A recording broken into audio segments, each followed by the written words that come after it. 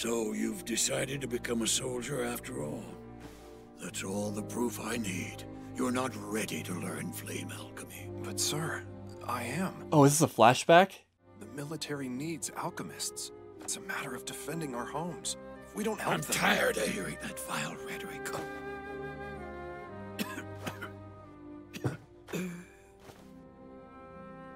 I can't stand to see you like this. There's no reason for a man of your stature to suffer in this kind of squalor. If you would simply join the military, you could get grants for your research. You could. I don't need a grant for something I've already completed. You finished your research? I've created the most powerful alchemy. It would only cause tragedy if I placed it in the wrong hands. And now that I've finished it, I've allowed myself to grow complacent.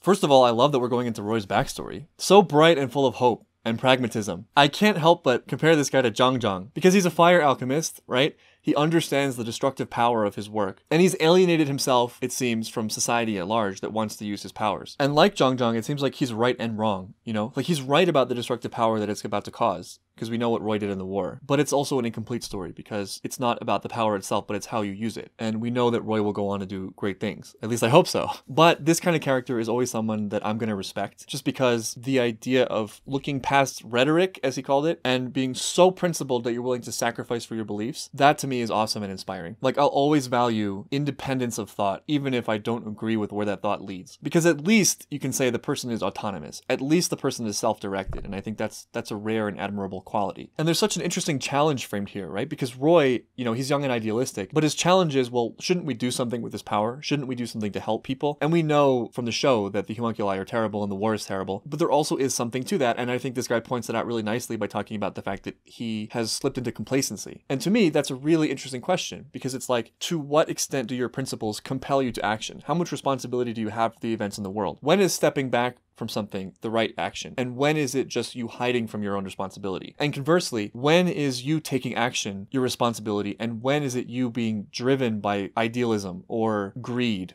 or your own selfish interests? You know, it's really like a tricky thing to try to balance out and figure out. Trust me, I've been dead for a long time. Master! Are you all right? Master Hawkeye? No, Hawkeye! it's not all right. Look after. Master Hawkeye. She's in possession of my research. That adds a new layer to the relationship.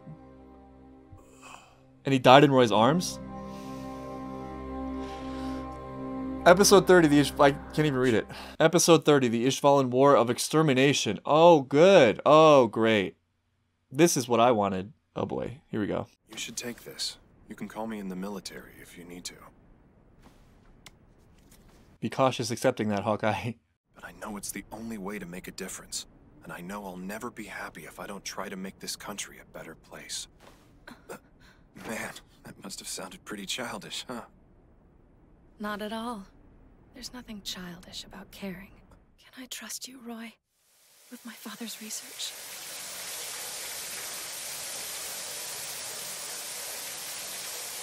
I guess there's a lot we don't know about Hawkeye, too. No, Hayate. Bad dog. Sorry about that. Don't worry, it happens all the time. It does. I couldn't pull the trigger. Well, I was just useless. Tell me what happened. Ed continues to be really hard on himself. It wasn't his fault at all. She could have shot him. But deep down, I knew that would be wrong. And all of a sudden, that gun seemed like something evil. Good instincts. I honestly think she would have shot him if I hadn't been there. She could hardly stop crying once I got the gun away. And it's my fault. I've got no resolve. I only managed to make things worse. You're just dwelling on this stuff because you made it back alive. You need to stay focused on living. That's how you'll help Winry. True. How else can you protect her? I mean, after all, you love her, don't you? he does. That's that's proof right there. It's not like that. Love just confirmed. Friends since we were little kids, and she's like family to me. I mean, of course, I'm gonna protect her. You yeah, know. keep protesting. That is a bizarre interpretation of what happened. In my eyes, Ed saved her. He saved her soul. There was no going back for Winry if she pulled the trigger. Whether or not Winry actually would have shot is sort of besides the point. I mean, the, the main point for me and the two of them is that Ed showed that he cares about her and was there for her to support her when she needed it most. And that's a huge gift. And probably related to why she, very shortly after, decided that she had feelings for him. I think if you can point to any wrongdoing there, and I don't think it's really wrongdoing, I just think it was maybe a mistake, was just not telling Winry about it earlier. That sort of set her up a little bit. But I've killed too many to feel sorry for myself. Besides, I can't deny that I'm the one who chose this path. It's very responsible. Ishval? Can I ask you about that? Please don't. Would it be all right? I'm with Hayate. Ishval go. is a harsh and barren country. Now stand down!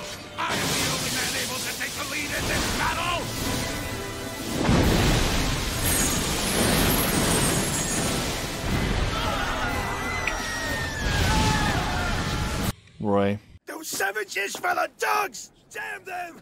Damn them! It's Hughes. Hey, Roy! Roy Mustang! Come on, Roy. Give me something to redeem you right now. You've changed since the last time I saw you. I could say the same, Hughes. You have the eyes of a killer. Yeah, it's not exactly the future we imagined when we were at the academy. What? What's wrong? I've still got a beautiful future, and her name is Gracia. She's patiently waiting at Central for the day I can come home. I got a little advice for you. It happens in movies and novels all of the time.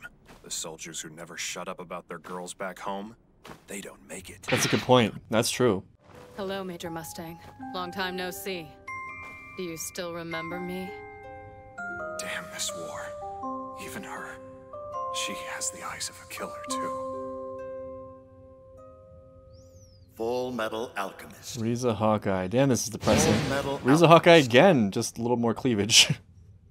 it's uncomfortable to watch characters that we love do terrible things. I mean, especially Hughes. I can't think of many examples right now, or maybe even any examples, where shows would put their characters, you know, sympathetic characters, in these terrible situations doing these horrible things. It kind of forces the viewer, I think, to deal with the complexity of it. One thing is, I think we can sympathize with the idea of doing what you think is right and believing that the ends justify the means. Roy definitely believes that, right? Like, he wants to shape the future through being a leader and the military, and this is his role in the military. The other thing that I think is more complicated and maybe harder to understand is talking about characters as if they are one solid entity. For example, I get comments like, let's not forget what Roy did in the war. And I think that's valid. You know, that's a valid thing. It is something terrible that he did, and that's something to keep in mind, right? But I think that something that's often missed or maybe not weighted heavily enough is time. I think we think of characters as solid objects that are, they are just this, right? And so Roy having done these terrible things means Roy is terrible. But I think a more zoomed out view is that characters, like real people, do terrible things but live long lives. Like, will Roy always have done this? Yes, that's always going to be something that's with him and with his character. Is he always someone detestable because of what he's done? That's a harder question to ask. And I think there are important implications to that question too, because it also affects how we see each other, how we treat each other. I think a lot of times our image of other people is very tightly bound on that on that narrow spectrum of like good or bad, good person, bad person, when the reality is so much more complicated because a person is a complex thing, right? They are who they were before at, at any given time and they're also who they are now. And while there's a common belief that people don't change, I personally am very convinced that people can change. It just has to be a very concerted effort. And I know for a fact that great people can do terrible things, and also weirdly, terrible people can do great things. So it's really confusing. But I think a really solid view is to try to be as nuanced and complex as possible in our dealings with other people and in our view of other people, and allowing for change and allowing for forgiveness, as long as you're not doing it blindly, as long as you're not giving trust where it's not due, or like setting yourself up to be harmed or something like that. I think that's a more positive view, but I also think it's a more useful view long term, you know, because we want to allow people to improve, we want to allow people to become better people. Otherwise, there's sort of no hope for us, right? Like if we're all judged by the worst of our actions, then we're all just terrible. Why are we being ordered to kill citizens when we should be the ones protecting them? It's good to see some conflict about Alchemy it was at meant to be used to help people. Right. So why is it being used to kill them instead? Because that's Yeah, the they're all job we affected. state alchemists have been given to do. Except for this guy. You ask why we're here Kimblee, killing these of course. people instead of protecting them? Because this is a war and that's what soldiers do. Isn't that right? That's enough, Kimblee! I'll tell you what I don't get. Did you people expect something different? You act like you're surprised, like you didn't choose this. Did you put on that uniform thinking you wouldn't be asked to kill? The one thing worse than death is to avert your eyes from it. Look straight at the people you kill. Don't take your eyes off them for a second. And don't ever forget them, because I promise that they won't forget you. Hughes, you tell me why you fight? It's simple. I don't want to die. That's the only reason. The reasons are always simple. Wow. That's another complicated thing, right? Like Kimblee is obviously enjoying this and loves to inflict pain, but he's also not wrong calling Roy out for not being aware of what he's doing. I mean, they're all aware. Or if they weren't aware, it's sort of a willful ignorance. Like you said, like what do you expect from being a soldier in a war against the Ishvalans? And also about what Hugh said about the reasons always being simple and tying that into the idea of rhetoric. That is sometimes where idea pathways flow. The way to evoke movement or to invoke action in large numbers is through emotion. And a lot of times, one of the purest forms of that is feeling like it's a matter of survival. Like feeling your way of life is attack or that very directly your life is under attack. And that's sort of the path to power and also the path to evil, right? Is boiling things down to make them justifiable. I can feel it deep in my bones. Like a part of me I never noticed before. That sound is an extension of my being. And this land, this land that's governed by death, I will paint it red with this shard of destruction. And Kimblee's still around. I mean, we're probably going to see him again. You're asking me to take your life in place of the remaining tens of thousands of Ishvalans. That's correct. I stand. How arrogant of you. Do you sincerely believe that your single life is equivalent to the remaining multitude of your followers? Damn, way to throw it back at him. Your life is not enough to call off the extermination. How can you be so inhuman? You will suffer the you hammer of knew. God! God, you say? Now, this is intriguing. How much longer do you think your God plans to wait before unleashing his fury? Oof. Just how many thousands of lives must I take before he decides to strike me down? You're a monster! Open your eyes. God is nothing more than a construct created by man to inspire fear and promote order. If you wish to see me struck down for all these atrocities, use your own hands to do so, not God's. Yikes. I'll do whatever it takes to protect the people I love. And in turn, they'll protect the ones they love. We've heard this before. It seems like the least we tiny humans can do for each other. Right. Yeah, this classic moment. Crazy how Bradley chose that moment to ridicule their god, but that sort of isn't how God works, right? Like if we're talking about the all is one, one is all God, things just play out. But if there's a flow and a process to life, you imagine that eventually what is or what the will of universal principles are will come to be no matter what. And everything else is just a step along the way. You can't really judge by the, the individual moments, you have to judge by the whole, and it's a whole that we can't see. I think the timeline of events adds something, because we can see how the war itself was a big part of Roy's motivation to become leader and to change things and to protect the people he cared about. If the world truly operates based on the principles of equivalent exchange, then we soldiers have plenty to give back. If this world is meant to prosper, then it is our duty to carry the bodies of the dead across a river of blood to their resting place. She was motivated too by the war. If I ever deviate from this path, then I want you to shoot me. And I'm trusting you to do so. Do you accept my offer? Of course I do, sir. I'll follow you into hell if you ask me to. She wasn't lying. Those who were praised as heroes during the Ishvalan campaign will be brought to trial as war criminals. That's right. In a just, peaceful world, after all that we've done, we'll be seen as mass murderers. The homunculi were the ones pulling the strings. They caused the Civil War. Even if they were the ones responsible for it, we were the soldiers who carried it out.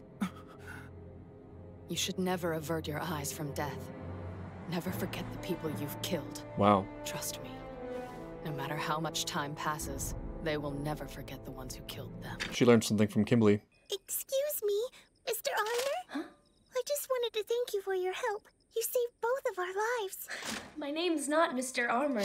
It's Alphonse Elric. Your name is Elric? You remember Edward Elric, don't you?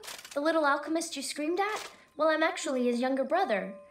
It's kind of a long story, but I lost my body. So you're his younger brother, huh? You Uh-oh. probably look just like him then. How Uh-oh. rude! For starters, I am way taller than my brother is, and I don't have a mean face like his, and I'm a much better fighter, too. And I don't have a temper like he does. I'm a gentleman. Damn, this is sort of mean.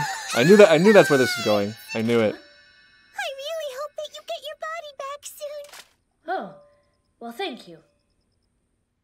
This girl needs to chill a little bit. what a weird ending. After that heavy episode about war and yeah, we get a little romance to end things off. So about Hawkeye's speech at the end, I respect the fact that she takes responsibility. Even though she wasn't the origin, she was the, the vehicle for something. And that was a choice that she made. And even if they were somewhat blind to that choice, even if they weren't fully considering it, it was close enough for them to have gotten it. And I think there's sort of a willful ignorance that comes with participating in things just because you don't know the other option, or because it seems right as deemed by your superiors, or because that's the flow of society, right? There's sort of an excuse and an escape in that. But it's something that I also can sympathize with because, you know, like I've said a bunch recently, the alternative is not easy. The alternative is rough. I don't think most people have the stomach for that. I also think, like I said earlier, that, you know, it's a difficult question of how do you shape things? How do you shape the world in ways that you think are appropriate without participating in the world and participating in the way the world is going? I think that challenge is well framed by Roy, right? Because Roy could be principled, right? He could have been principled and not joined the military, but then he wouldn't be Roy, right? He wouldn't have the power he has now. And so it's just so sticky. It's really, really hard to wrap your mind around. How do you participate in power? How do you gain power without becoming the evil that you're fighting? You know, or without resorting to evil as a means to an end? A lot of really challenging questions that come out of this, and I think that's part of a great design for the story in the show. It's deliberate putting these characters in these situations. There's just so much moral gray area in ways that most shows just don't don't dare touch. So a lot of respect to the writing for that. But yeah, the nickname twisting the knife definitely applies here to this episode. I'm sort of glad that it came up. I've been kind of waiting for it. Like I knew we were going to get a little bit more on the backstory of the Ishvalan War. I think we sort of needed that closure. We needed to see how it went down with the characters. And I think character-wise, it was of great benefit to Roy and Hawkeye, not only as individuals and their conflict and their resolve to do better, but also their relationship with each other. So that's really cool. Also, even though it's a very small thing, it adds something to me to know that Roy started out having that teacher who was really against the war and really against Roy using his power, because that allows for his vision to be realized, the teacher's vision, over time as Roy refines his values, in hopefully a way that is neither the flaws of Roy as a young man or the flaws of the teacher, which was just total uninvolvement. There probably is something better than that, right? Like we saw with Jeong Jeong, where Jeong Jeong was like, I'm done with fire. We see at the end of Avatar that he uses his powers for good and he actually helps shape the world in a meaningful way. And so Roy started out doing a lot of evil, but he might end up doing a lot of good with his power. And I think that's a more appealing message overall, right? It's not like your powers are good or bad. It's not that your traits are good or, or bad. It's about how you use them and what they're connected to. Like what principles and values are they connected to? And what is your actual goal? Is your intent to get ahead? Is your intent to win at any cost? Or is your intent to use the things you have to try to do good things in a pure way that is not destructive? So overall, another really tough episode. I feel like I'm becoming a little bit more resilient. Maybe it's because nothing can be as bad as Nina Xander. But yeah, see you for the next episode.